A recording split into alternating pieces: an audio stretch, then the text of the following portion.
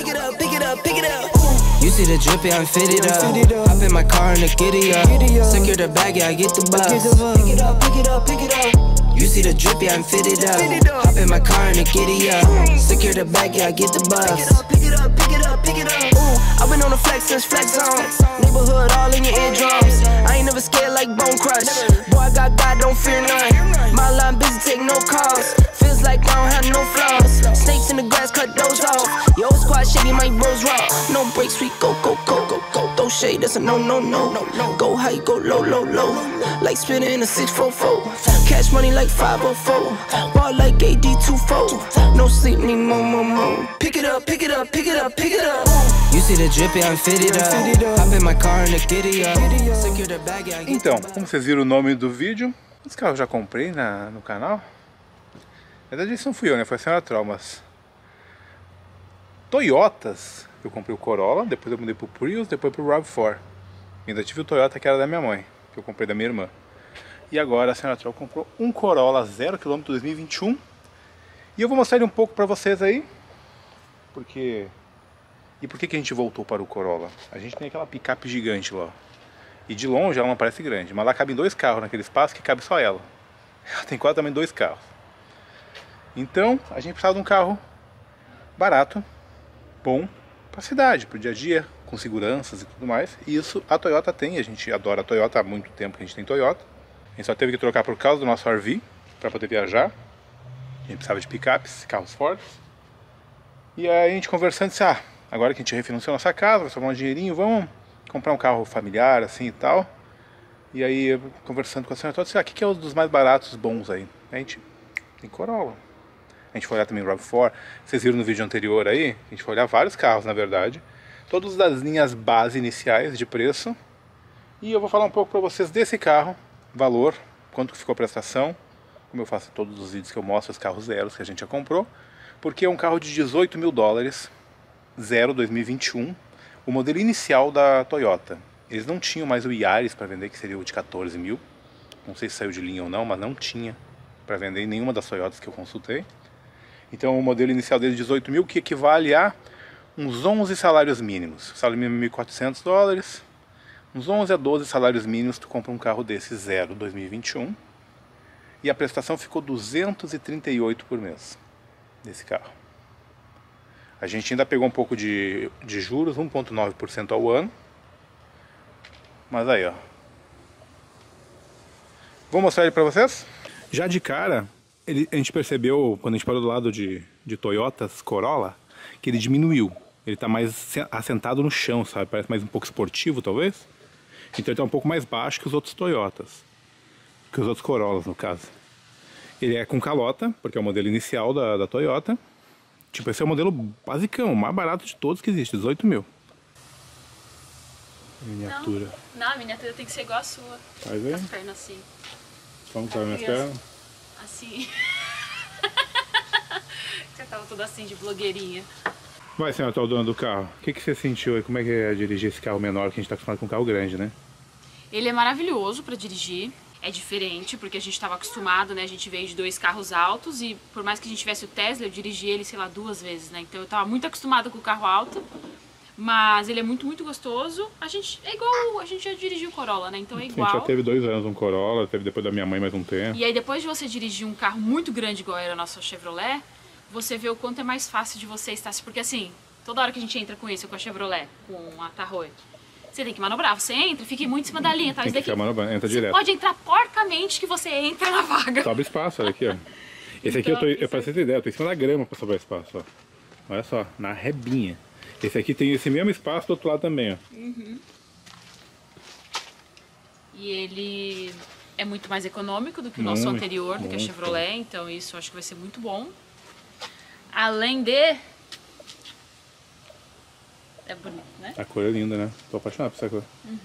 E cabe ali certinho a cadeira, ele é mais apertadinho, mas a gente não Mas ainda assim, atrás, eu então... filmei, o pessoal vai ver daqui a pouco, eu dentro do carro fechado a porta. Tampa o seu peitinho. Tampa o seu TT. Tampa o TT, né? Não pode aparecer TT no YouTube. Agora a gente vai pro review do carro. Eu tô, assim, eu tô aqui pra mostrar um pouquinho da felicidade dela. Eu dirigi, eu dirigi ele hoje, eu senti ele, ele é muito mais estável, sabe? Ele é muito Parece que é grudado no chão, né? É não que você sai cai. de dois extremos, né? É, ele não você sai de um caminhão pra um carrinho. Ele anda, tu tá 70 milhas por hora, nem sente que tá 70 milhas por hora, né? Tu tá no limite da velocidade da estrada, nem sente, ele não, não, não escorrega, ele é muito cravado no chão. É. Já senti saudade de um Corolinha, fiquei bem feliz, na verdade. É um carro muito bom. Muito bom. amor? É um carro. Você pega que é o- um dos mais baratos da, da Toyota. É o mais barato esse. Mas hoje. ele não tem é- o outro aqui. Maravilhoso. Qual era o nome do outro que era baratinho? que Não, não tinha mais? Yaris. Yaris, não tem mais esse Yaris para vender. Bom, gente, vamos conhecer o carro, eu vou mostrar pra vocês, vou mover tudo aqui. Eu vou mostrar por fora primeiro, depois aqui dentro, porque tipo ele tá muito minimalista, diferente do anterior. Vamos abrir aqui motor. E, tipo, são detalhes como esse aqui, ó, que precisa puxar o ferrinho, sabe, que os outros não precisam, para deixar aberto. Sabe, precisa botar o ferrinho, os outros são com amortecedor do- dos os negocinhos que levanta sozinho. Tá aí o motor dele. Se eu não me engano, ele é 1.8 e ele, a versão superior dele é 2.0. Ele tem um porta-malas gigantesco. Pra quem já viu os outros vídeos nossos do Corolla sabe disso. Tipo, é astronomicamente grande para um sedã. Eu acho que ele tem step também já aqui embaixo disso aqui. Tem o step já aqui, ó, fácil acesso. Esse step fininho, padrão de Corolla, tem todo equipamentinho para trocar o pneu. Mas é fácil acesso, não é que nem o RAV4 tem que deitar embaixo do carro. Tem negócio de segurança, te trancar e você consegue abrir por dentro. Tem câmera de ré que eu vou mostrar aí para vocês. A cor dele é cinza, é um cinza azulado. Cinza celestine, alguma coisa assim. Mas no documento tá constando azul. Tipo, não parece, né? Esse azul é um cinza. Cinza azulado, talvez. Mas a gente adorou essa cor. Vamos pra dentro. Aquele review que nem eu faço com vocês, né? No meu estilo. De cara é meio padrão do Toyota. Toda a partezinha de coordenação aqui de volante aqui, ó. Ele fala com a gente. Vai, calma, calma. Telefone, viva voz, volume, seleção de menu que tá lá, que tá me informando que tá aberta a tampinha do, do capô. Aqui o cruise control dele. Aqui para trocar das rádios também. Aqui, ó, parte de segurança que nos cativou mais do que os outros carros básicos aí das outras construtoras de carro, fabricantes. Ele vem com o negócio de troca de linha, sabe? Ele apita se tu for perder o controle e sair da linha, ele te avisa, sabe? Então, sinal sonoro. Isso é ótimo. Pra quem dirige bastante, sabe que isso é ótimo. Ele te dá uma vizinha se tu, sei lá, estiver saindo fora da linha. Esse aqui é um bagulho fodástico da Toyota. Ele. Duas coisas, na verdade. Primeiro, que ele tem o sensor de frear, de te avisar, né? Se tu não frear, e frear por você, para evitar colisão de frente. Então ele tem um. Sei lá como é é a configuração dele, mas muitos carros que a gente já teve já tinham isso aqui. O RAV4, se eu não me engano, tinha também. Então ele vai frear pra ti, se tu não frear primeiro, ele vai te dar um aviso, avisar, ó, tem um carro na frente, se tu não frear, ele freia pra você. Aqui do lado a gente tem o negócio de cor, né, de, de luz, ó, de diminuir a- luz de todo o painel. A luz aqui automático, acho que é os faroletes lá. Assim como aqui eu deixo no automático, sempre deixei no automático nos Toyotas. A parte aqui do outro lado é a parte do negócio de chuva. Então ele não tem negócio automático de chuva. No painel, a rotação do motor, do motor, temperatura, gasolina, um speedômetro, como é que chama isso aqui? Velocímetro? Isso. E ali tem um digital, que é um LCD, muito bom no meio. Deixa eu voltar aqui para sair dessa tela. Eu gosto de deixar no digital, assim natural também, porque costume já de digital é mais fácil. Eu sei que tá aberto. Aqui também pode deixar na parte de ficar vendo as linhas laterais, sabe, tudo mais, tá saindo. O negócio de, de consumo de gasolina, sabe, da, da distância que tu fez uma trip, uma viagem. Aqui, ó, o LTA ali que tem é o negócio das linhas, né? O PC Ai meu Deus, eu devia ter fechado essa tampa, né? Esse PCS aí é o negócio de colisão. E esse negócio que tá ali embaixo, o RSA, absurdamente que eu nunca tinha ouvido falar. ele lê tudo, placas de trânsito. É um sensor na frente do carro que lê as placas e aí ele vai te avisando. Se ele põe aqui para ti a velocidade limite, sabe, em cima, e tu vai saber a velocidade limite de onde tu tá. Ou se tem um pare para frente, ele vai te avisando, sabe? Ele vai lendo placas de trânsito para te avisar, para te ajudar a dirigir melhor. Aí tem as settings do veículo aqui, ó, as configurações do veículo. Então é um visorzinho mais bonitinho do que um comum, né? Porque ele é uma telinha LCD bonitinha. A gente costuma deixar realmente no, no digital. E aí nos trazemos para cá. Ele é uma versão a gente até brincou, parece muito Tesla, é muito minimalista, não tem nada. E não é porque é pelado, porque a versão mais moderna do Corolla também é assim. É igualzinha. Porque tudo tá aqui no, no, no, tabletão deles, que é fixo, né? Mas é só um tabletão com rádio, sabe? É só isso aqui que tem. Tem aplicativos, ele tem Wi-Fi, então eu posso. Ele dá 2 GB por mês grátis, eu posso pagar para ter mais, que nem era no. No, na Chevrolet Tahoe, que eu pagava 20 por mês, que nem eu pago na picape 20 por mês para ter ilimitado. Isso é bom se tu tem criança, quer botar ver um desenho online e tal. Aplicativos, mesma coisa, eu posso baixar aplicativos do, do celular, tem que baixar o aplicativo da Toyota. Então tem vários aplicativos que eu posso botar aqui. Basicamente é uma puta de uma central de comando boa. Áudio. Ele tem o áudio 3 meses de graça aqui, que é por satélite. Shhh, não pode ouvir música, moço. Shhh. Senão eu tomo strikes do YouTube. Então tem a MFM, tem 3 meses grátis aqui. Se quiser, tem que pagar aquela rádio de satélite. Não sei se tem no Brasil, se tem, me diga nos comentários, por favor. Ou, ou pode conectar direto aqui também, no cabo. Ou por Bluetooth. Mapa, nós não temos navegação instalada mas a gente pode pagar um extra para ter a navegação, tipo, ele já é preparado, sabe, para ter o mapa. Aqui é controle das coisas, vai para os aplicativos direto, é só para ir direto para algumas funções, né? Aqui nem é rádio, na verdade, a rádio está aqui, né? Aqui, na verdade, é o controle do ar-condicionado. Também padrão, só num estilo diferentinho. Ali embaixo que controla tudo aqui, se eu quero... Para tirar o embaçamento aqui econômico.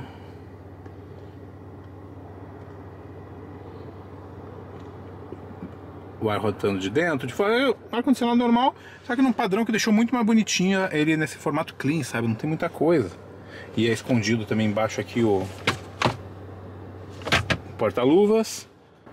Esse aqui é o Traction Control, sempre deixei on, é o controle de tração. Câmbio automático, freio de mão aqui, se eu engatar primeiro ele já solta o freio de mão sozinho. freio de mão é freio de dedo aqui na verdade. Ó. E esse aqui, o que será que é isso? Vou testar, não faço ideia. Apertar, hold.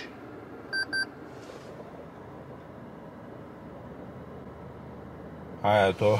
Eu tô com. Deixa eu botar o cinto pra ver o que é isso aí. Que é você, moço? Não sei. Diga nos comentários o que, que é isso aqui. Posso pegar o manual e olhar? Posso, mas é mais fácil vocês fazerem um comentário. Hold, um botão do lado do freio de mão, que não aceitou com o cinto aberto. Do lado do passageiro, tem o ar-condicionado normal. Ele tem muita segurança dos airbags. O pessoal que conhece Toyota sabe que a Toyota é muito foda em sistema de, de airbag, de segurança, como agora tem essas coisas, até de ler placa. Sistema de SOS, dão também 3 meses grátis, se quiser tem que pagar. É um esquema que se tu sofrer um acidente, tu apertar, ele manda um sinal de GPS de onde tu tá para essa central de, de socorro. Então tu pode ter isso aqui se tu quiser. Eu não me lembro quanto era, mas era tipo muito barato, tipo R$1,99, R$2,99 por mês extra, sabe? Ou quando tu pegava o plano de internet tu ganhava grátis, sabe? Então não é algo caro para tu ter e de repente tá numa emergência, tu aperta o SOS, eles não precisam nem te ligar se não quiser, eles te mandam emergência, sabe? Realmente um sinal de SOS, sequestro, por exemplo, pá! Bom, eles mandam um sinal do teu carro e vão atrás. Tem configurações, sabe? De tu ligar primeiro, etc e tal. Luzes, como qualquer outro, controle se abre porta ou não, para ligar as luzes. Os dois tem aqui também com luzinha, ó, os espelhos, os dois lados. E aqui atrás, a gente já botou a cadeirinha do Ita no meio, ele tem um ótimo espaço de perna. E isso também influenciou na nossa decisão pelo Corolla, porque a gente estava olhando um outro carro da da Toyota, que é o HCR, não, HCR, CHR, eu posto a foto aí na edição, que é tipo um mini SUV, é tipo um mini RAV4, só que a, a perna dele era assim, colada, eu vou ver se tem o take disso do outro vídeo, mal dava para entrar os pés, Isso incomoda para quem tem criança pequena. Aqui ainda cabe. Apertado que é um demônio. A gente botou a cadeira do Ita no meio para ele poder ir olhando para frente, que é legal. Mas ó, eu consigo fechar a porta. Criei a porta. Tipo, e cabe eu aqui, eu sou gigante, gente, sou gordo, essa troca cabe tranquilaço do outro lado, sabe? Então dá para o item no meio com mais duas pessoas em cada lado. A gente pode botar pro lado de cá e ainda duas pessoas do lado de cá. Como é só eu, a Senatral e o Ethan, é de boaça ele no meio, porque só tá indo ele atrás. Mas ainda se precisar carregar alguém, a gente carregar alguém, a gente consegue. Tem as traves de segurança de crianças daqui das portas, tudo comum. E esse é o primeiro carro da Senhora Troll. É da família, é da família, mas é da Senhora Troll, porque ela que vai usar bastante o Ethan para ir para parquinhos, para tudo mais, vai para Disney. E ela tá mega feliz com isso. Primeira compra dela, é ela que vai pagar as prestações, inclusive. O primeiro carro da Senhora Troll é um carro que eu particularmente adoro.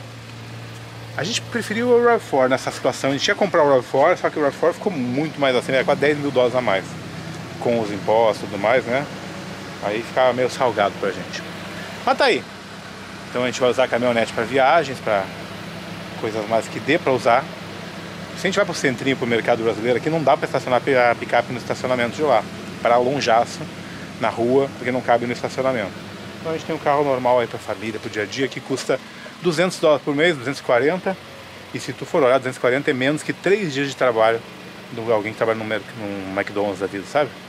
Quando eu trabalhava de corredor de carrinho no supermercado, eu ganhava em 4 dias esse valor dessa parcela, desse carro.